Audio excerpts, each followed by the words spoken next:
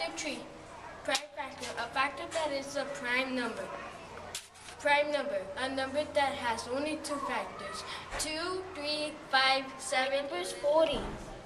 I draw a branch. And I put 10 times 3. Are those prime numbers? No.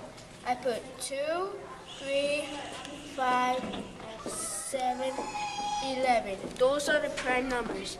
Then I put 5 times 2. I circle them because they're prime numbers. After circle the prime numbers, then I put 2 times 2.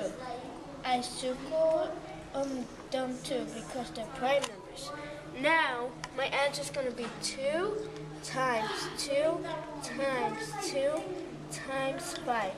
And there is the answer um, of like a bell, 40, that's a good number. So we put a branch, and what equals 40? So it's going to be 8 times 5.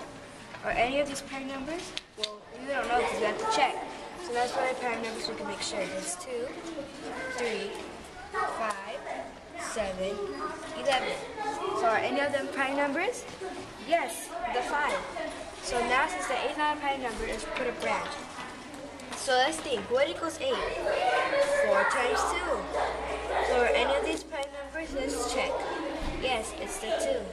So now we put the branch because this is not a prime number. Now we put 2 times 2. Are any of these prime numbers? Well, let's check. There's 2, 3, 5, 7, 11. Is there 2? Yes, so they're both prime numbers. So now we put 2 times 2 times 2 times 5. And this is our answer. and I did the factors. It's Monica, and I did the fact. Thank you for watching.